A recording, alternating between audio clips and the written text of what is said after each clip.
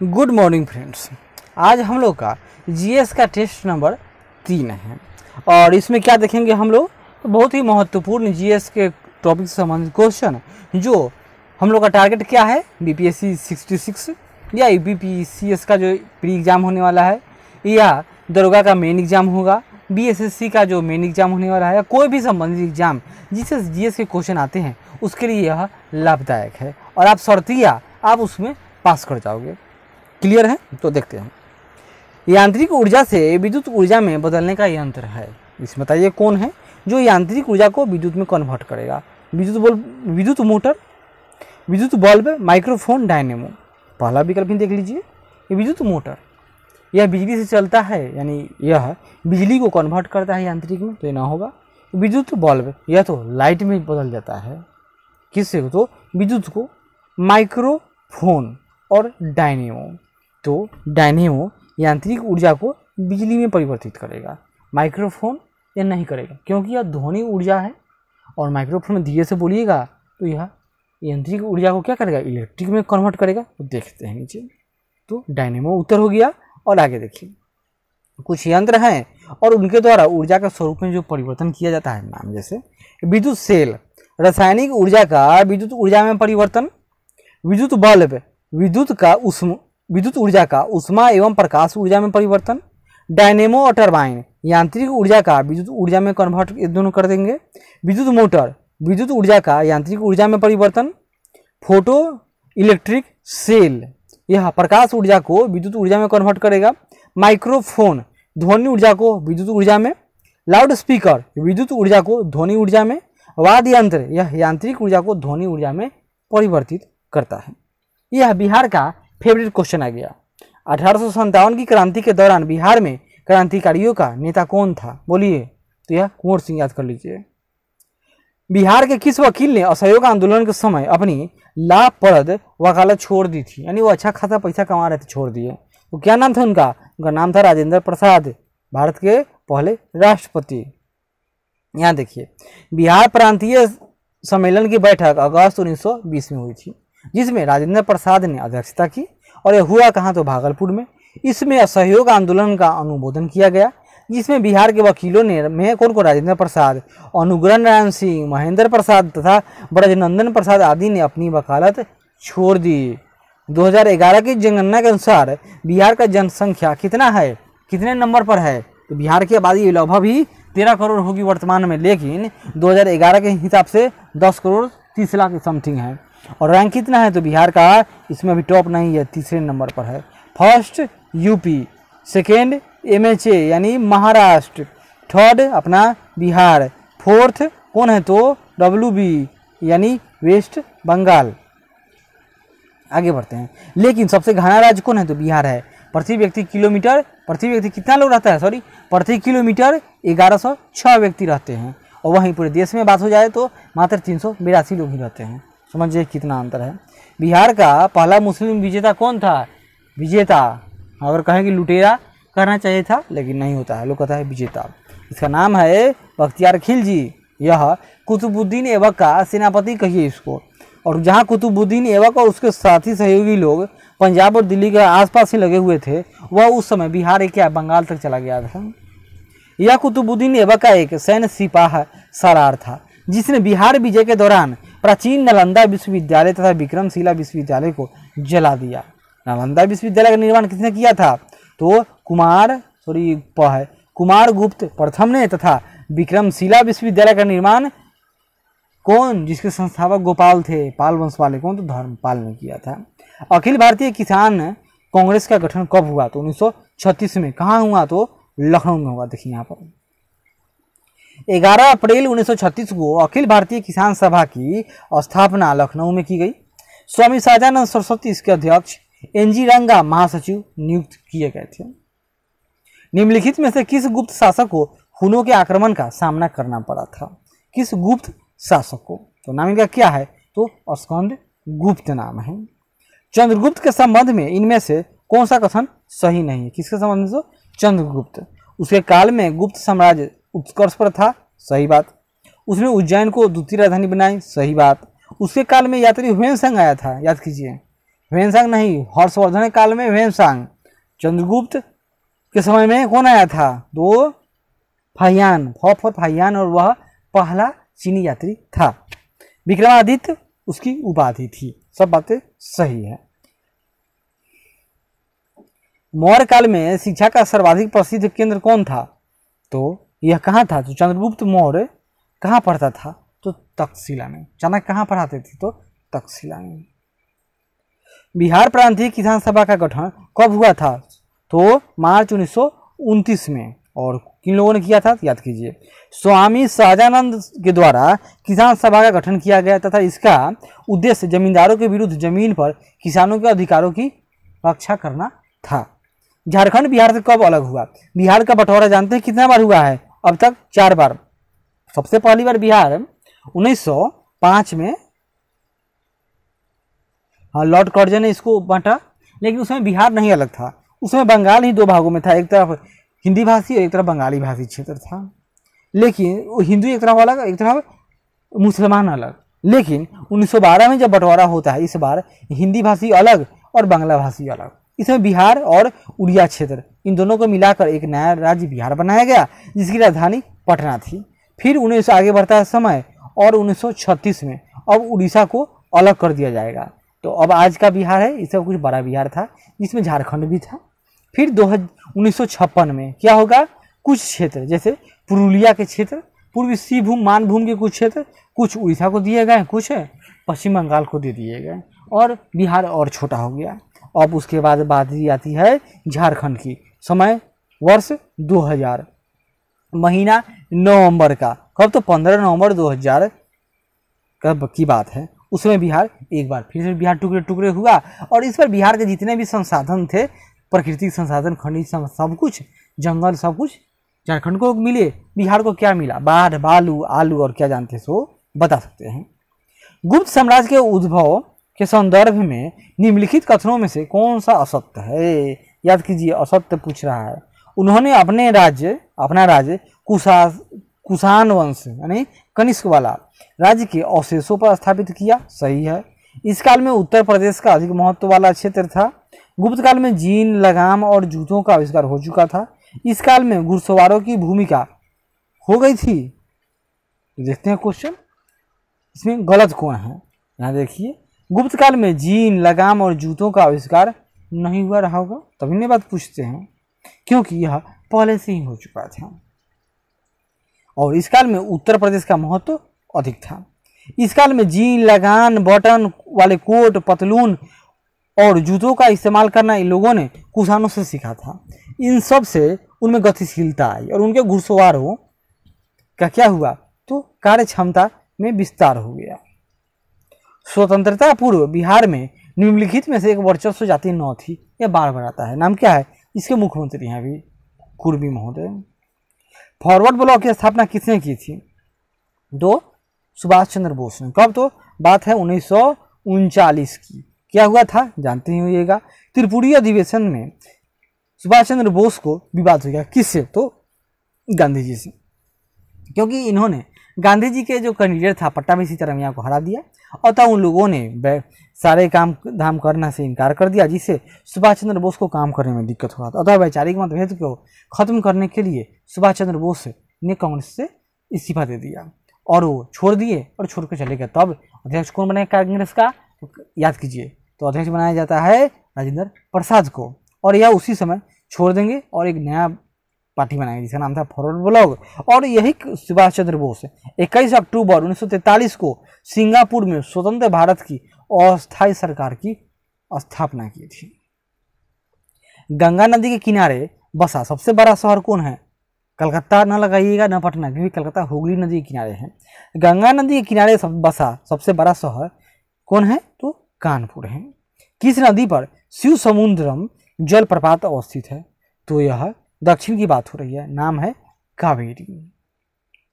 इसकी ऊंचाई अंठानवे मीटर है और शिव समुद्रम एवं श्रीरंगपट्टनम द्वीपों के मध्य यह अवस्थित है जो मैसूर ज़िले में स्थित है। निम्नलिखित में से किस शासक ने सुलहकुल की नीति अपनाई थी? कौन जो सहिष्णु रहा होगा? तो नाम है इनका अकबर। अलाउद्दीन खिलजी के आक्रमण के समय देवगिरी का शासक कौन था? तो वही चंद्रदेव थे। जी, इन्होंने पहले तो टैक्स देने से मना किया, फिर न दिए तो अलाउद्दीन खिलजी ने इनको पकड़ कर ले आया, फिर एक साल तक रखा। जब मान मनोबल हो गया तो फिर अलाउद्दीन खिलजी ने पैसा सोने चांदी देकर इनको फिर वहाँ का राजा बना दिया। ये बात है, बारह में आक्रमण किया गया था। इस समय अलाउद्दीन कारा का उस समय गवर्नर था। जब जब आक्रमण हुआ था, उस समय की बात है। राजस्थान के बीकानेर में 15 जून 2020 को 50 डिग्री, अब कुछ ज्योग्राफी के कठिन क्वेश्चन आते हैं। 50 15 डिग्री 2020 को 50 डिग्री सेंटीग्रेड तापमान था। इसको फॉरेनहाइट में कितना दिखाया जाएगा? इसका एक सूत्र होता है लिखिए याद कीजिए। सी बाई फाइव बराबर एफ़ माइनस बत्तीस बटा नौ। अब इसमें पुट कर दीजिए। सी में क्या लिखेंगे हम लोग? पचास। यहाँ लिखिए, पचास।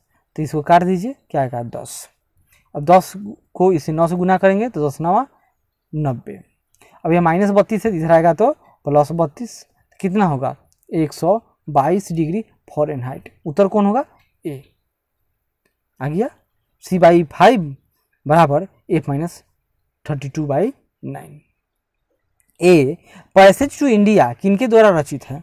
तो ए पैसेज टू इंडिया इनके रचिता कौन है? ई एम फोस्टर निम्नलिखित में से कौन सा एक, बहुत छोटा हो गया आंसर। निम्नलिखित में से कौन सा एक भू स्था स्थलाकृति के विशेषताओं वाला समूह, क्षरण, यानी इरोजन अपर्दन कहिए इसको, प्रक्रिया का परिणाम है एस्कर, फ्योड, ये सब ज्योग्राफी में जब पढ़ेगा तो होता क्या एक तरंग जनित कुछ, यानी कि नदी द्वारा बनाई गई नदी के अपर्दन से बनने वाली आकृति, समुद्रों के द्वारा से बनने वाली आकृति, वायु के द्वारा बनने वाली आकृति, हिमोट के द्वारा बनने वाली आकृतियाँ, हवाओं के द्वारा बनने वाली आकृतियाँ, उसी का सब नाम है जिसमें पूछ रहा है कि क्षरण से वाली बात है। तो एस्कर फ्योड तो फ्योड तर तो ये समुद्र तटीय इलाका होता है, यह भी अपर्दन जनित है। भी आकार की घाटी, जब नदी युवा होती है तो यह इस तरह की घाटी बनाएगी। सिर्फ़ यह भी आगे देखिए, इसमें सिर्फ़ और सिर्फ़ अपर्दन जनित ही क्षेत्र पूछ रहा है, यानी कि सिर्फ़ यह अपर्दन जनित नहीं है, यह डिपोजिएशन से बनने वाला है। इसी तरह सर्क ऑरेटे प्याला, स्टैक स्टैक समुद्र में खड़ा होता है। प्याला यह हवाओं के द्वारा इस तरह से हवाएँ बहेंगी तो यहाँ पर एक गड्ढा बना देती हैं। और सर्क ऑरेले नुनाटक, ये सब क्या है तो ये सब जो क्षण संबंधित आकृतियाँ होती हैं। हिमोड बरखान, हिमोट क्या है यह? हिम का जो कण होगा उसको जमा करने, यानी यह डिपोजिट इलाका हो गया। तरंग निर्मित प्लेटफॉर्म यानी तरंग से निर्मित हो गया, अपरिचित नहीं है। लिविस, स्टेगलेमाइट, स्टेगलेटाइट, ये सब क्या है? ये सबसे बना है। मोनाड नोक और ड्रमलिन, ये दोनों क्या होगा ये दोनों क्षण से बने हैं। लेकिन हमें क्वेश्चन का उत्तर कौन होगा? इसका उत्तर बी होगा। देख लीजिए। भू आकृतियों के संदर्भ में चक्रीय पद्धति की अवधारणा का प्रतिपादन किस भूगोल वेता ने किया था। चक्रीय पद्धति तो James Hutton, Darwin, Davis, Harry Hess, या हेनरियस नहीं। इनका नाम है जेम्स हटन। इन्होंने इस चक्रीय पद्धति का अवधारणा दिया था कि मतलब क्या बताया इन्होंने? यहाँ देखिए कि चार पद्धति में पूरी दुनिया का निर्माण हुआ है। प्रथम श्रेणी में महाद्वीप और महासागर का निर्माण। इस महाद्वीप और महासागर ने मिलकर यानी द्वितीय श्रेणी में पर्वत और पठारों का निर्माण हुआ। तृतीय श्रेणी में पर्वत पठारों से क्या होगा? तो नदी घाटिया, जलप्रपात, बाढ़ का मैदान पर्वतीय ढाल, हिमानी घाटियाँ, हिमगहवर, हिमोड, फूलिन, रोधिकाएँ, बजादा, बालू टिब्बे आदि का निर्माण होता है। चौथा छूट गया। चलिए भू संचलन के प्रमुख कारण क्या क्या है? भू संचलन यानी जो पृथ्वी पर भूकंपीय घटनाएँ होती हैं, यानी कि जो प्लेटें खसकती रहती उसकी बात हो रही है। पृथ्वी के आंतरिक भागों में तापीय विषमता, पृथ्वी के भीतर चट्टानों का फैलाव और सिकुड़न पृथ्वी के भीतरी भागों में द्रव पदार्थों का स्थानांतरण। ये सब के सब होंगे इसमें। निम्नलिखित में से, और बड़ा बड़ा बनाना चाहिए था, आंसर भी दिख रहा है। निम्नलिखित में से कौन पर्वत निर्माणकारी शक्तियों से संबंध रखता है? तो चटकन यानी कोई इलाका था यहाँ पर, प्रेशर पड़ेगा तो ये बीच में से टूट जाएगा, इस प्रकार पर्वत बन जाएगा। समल, समलन, यानी दो इलाका है, इसमें दोनों तरफ़ से प्रेशर लगेगा तो क्या होगा? समलन होगा तो ये तो टेढ़ हो ही जाएगा। वलन यानी कंप्रेशन खूब ज़ोर से होगा। तो इस तरह से ऊँचा उठ गया, यानी ये सब के सब पर्वत निर्माणकारी शक्तियों के नाम हैं। भूकंप सॉरी भूकंप अधिकेंद्र क्या होता है? उस स्थान पर के प्रत्यक्षतः ऊपर बिंदु जहाँ भ्रंश क्षेत्र के साथ संविदारण होता है, यानी कि मान लेते हैं कि यहाँ भूकंप उत्पन्न हुआ। क्यों? क्योंकि दो प्लेटें थी, ये आपस आपस में टकराई या दूर गई, जिससे यह इलाका हिला, इसके ऊपर का क्षेत्र कह रहा है इसके हिसाब से। दूसरा, पृथ्वी के भीतर बिंदु जहाँ भ्रंश के पास संचलन होता है, यानी यह वैसा क्षेत्र अधिकेंद्र जहाँ पर यह भूकंप हो गया। संबंधित भूकंपों के समूह का सन्निकट केंद्र, यानी इसका जो सबसे नज़दीक का जो केंद्र होगा उसको, या भू, पृथ्वी जहाँ भूकंप लेखी अवस्थित हो, ऐसा थोड़े है। इसका मतलब क्या होगा? इसका उत्तर डी होगा, गलत। भूकंप अधिकेंद्र क्या होता है? यहाँ देखिए। भूकंप अधिकेंद्र यहाँ लिखे हुए हैं। अधिकेंद्र जहाँ सबसे पहले महसूस हो यानी कि नीचे का उद्गम केंद्र है, जहाँ पर भूकंप हुआ, इसके ऊपर 90 डिग्री का केंद्र, यह होगा अधिकेंद्र इस पर न जाइए यह उद्गम केंद्र के ठीक ऊपर, यानी 90 डिग्री पर होता है, और उद्गम केंद्र, यानी जहाँ से भूकंपीय तरंगे उत्पन्न होती हैं। यह पूछ क्या रहा था? अधिकेंद्र के बारे में। पृथ्वी की आंतरिक संरचना की अस्पष्ट जानकारी किसे मिलती है? अस्पष्ट। तो ज्वालामुखी भूकंपीय तरंगों से, तापमान से, आंतरिक घनत्व के अध्ययन से। तो हम लोग ऐसा थोड़े कि उसके अंदर चल जाएँगे। तो यह, हम लोग की आंतरिक संरचना की जानकारी की बात हो रही है। तो आंतरिक संरचना की जानकारी किसे मिलेगी? तो भूकंप तरंगों से मिलती है। भूकंप तरंगों और ज्वालामुखी, इन दोनों से क्या मिलती है? तो तत्कालिक कारण है ऐसा। और जो बाकी क्रियाएँ हैं जैसे तापमान में परिवर्तन होना या पर, किसी पर्वत का ऊपर उठना, ये सब तो बहुत लंबी चलने वाली प्रक्रिया होती है। पृथ्वी के आकस्मिक अंतर्जात बलों का स्रोत निम्नलिखित में से कौन सा होता है? आकस्मिक है, लेकिन वह अंतर्जात बल है। आकस्मिक है, अंतर यह भी भूकंपीय तरंग ही होगा। जिन भूकंपीय तरंगों के कारण सेल कणों में तरंगों की दिशा में आगे पीछे कंपन होता है, यानी कि वह ध्वनि की तरह चलता होगा। मतलब कैसे? इस तरह से धक्का देकर, यानी कहीं कैसे भी चल सक, कह सकते हैं। यानी धक्का देकर आगे की तरफ़ जाएगा कैसे जो ध्वनि चलता है तो कौन जाएगा? यह सेकेंडरी वेव है। उत्तर में देख लेते हैं। सॉरी यह हाँ यह प्राइमरी वेग होगा। क्यों? क्योंकि हम लोग जानते हैं कि यह प्राइमरी वेग ध्वनि तरंग की तरह व्यवहार करता है और यह ठोस, द्रव और गैस तीनों के माध्यम से गुजर सकता है। यहाँ देख लीजिए डिटेल से है। पी, ध्वनि तरंगों के संचरण के समान, अर्थात अनुदैर्य या संपीडन तरंगे, इसका गमन ठोस, द्रव और गैस में होता है। ये तरंगे आगे पीछे धक्का देकर चलती हैं और ठोस में इनकी गति सबसे अधिक सात दशमलव आठ किलोमीटर होती है और ध्वनि, यह ध्वनि तरंगों के संचार यानी अनुदैर्य तरंग होती है।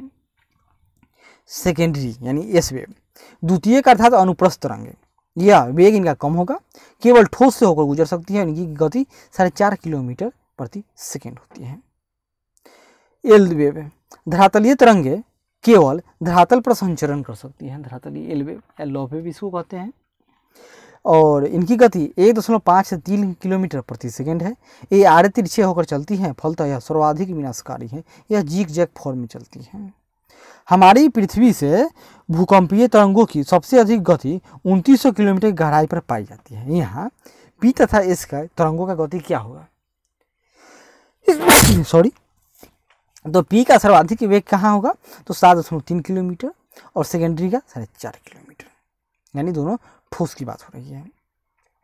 ज्वालामुखी उद्गार के निम्न प्रकारों में से कौन सा एक प्रायः विस्फोटक नहीं होगा? यानी कि जो तरल अधिक तरल होगा, यानी जो कम एसिडिक होगा तो कौन है? तो यह हवाइयन है। हवाइयन कौन? मतलब अमेरिका का टेरिटरी तो सबसे देख लीजिए। हवाइयन यह सबसे शांत एवं लावा पतला होगा। स्ट्राम्बोली यह इटली में है। हवाइयन की तुलना में अधिक तीव्र होगा। वल्केनियन, इसका विस्फोट और भयंकर होता है। पिलियन, यह सर्वाधिक विस्फोटक, भयंकर एवं विनाशकारी उद्गार होता है। इसका लावा जितना अधिक चिपचिपा होगा, वह अधिक विस्फोटक होगा। निम्न में से कौन सा मैगकॉन मैग्मा के ठंडा होने पर दीवार की तरह निर्मित होता है तथा जो औषधि शैलों के संस्तर पर लगभग लंबवत हो जाता है। उसका नाम क्या है? तो उसका नाम होगा सील की डाइक। बोलिए, एक, दो, तीन, डाइक। तो ज्वालामुखी क्रियाओं में अंतर्वेदी स्थल कृतियाँ तो बैथोलित यह भूपरपटी में अत्यधिक गहराई पर निर्मित होता है। मान लेते हैं कि यह ज्वालामुखी का पाइप है। चलिए, सबसे नीचे यह होगा। यह अनाच्छादन की प्रक्रिया के द्वारा भूपटल पर प्रकट हो जाता है और यह ग्रेनाइट का बनाया पिंड होगा इस तरह से। लेकोलिथ यह गुंबद नुमा विशाल अंतर्वेदी चट्टान है, जिसका तल बराबर समतल होगा, एवं पाइप रूपी लावा वाहक नली से यह जुड़ा होगा। ऐसी आकृति कर्नाटक के पठार में मिलती है। इस, इनकी अधिकतर चट्टान क्या होगा अपर तीर्थ हो चुके हैं, यानी कि यह पृथ्वी के ऊपर आ चुका है। डाई के इसका निर्माण तब होगा जब लावा का प्रवाह दरारों में धरातल के समकोण, यानी इस तरह सीधा पर होता है। यह दीवार की भांति संरचना बनाता है। पश्चिमी महाराष्ट्र में इसके उदाहरण मिलते हैं। दक्कन ट्रेप के विकास में भी डाइक की महत्वपूर्ण भूमिका मानी जाती है। सील, लेपोलिथ, फैकोलिथ मैग्मा जब चट्टानों के बीच में थैजी क्षैतिज तल में इस तरह समानांतर तल में चादर के रूप में ठंडा हो जाए तो यह सील कहलाएगा चादर के रूप में पतला। जो और तो सील कम मोट, मोटा मोटाई वाला होगा यानी कुछ चौड़ा होगा तो चादर जैसा बहुत मोटा तो क्या नाम कहेंगे उसको हम लोग? सील। और कम मोटा होगा पतला हो जाएगा उसको कहेंगे सीट। यानी यह जो करकट होता है एस्बेस्टस की तरह पतला हो तो मान लेते हैं। यदि मैग्मा या लावा तस्तरी की तरह जम जाए इस तरह से तो लेपोलिथ कहलाता है। परंतु जब चट्टानों की मुर्दार अवस्था में अपनति हो जाए या अभिनति हो जाए या वो ऐसे हो जाए के तल में लावा का जमाव हो तो क्या कहेगा? तो वह फैकोलित कहलाता है। तो आज हम लोग ने क्या देखा? तो महत्वपूर्ण आज हम लोग का टेस्ट नंबर क्या था? तो टेस्ट नंबर थ्री था। आशा करते हैं कि यह प्रयास अच्छा लगे तो ज़रूर लाइक करें शेयर करें कमेंट करें और सब्सक्राइब करें। अगले बार मिलते हैं, तब तक धन्यवाद।